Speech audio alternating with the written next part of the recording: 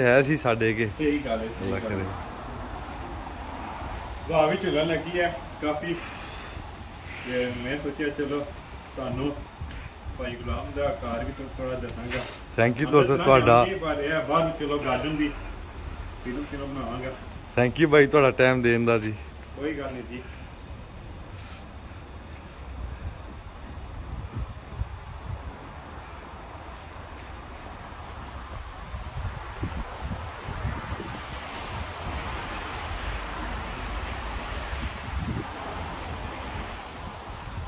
ਆ ਬਾਈ ਹੁਣੀ ਬਾਲ ਕੱਟ ਰਹੇ ਜੀ ਬੇਟੇ ਦੇ।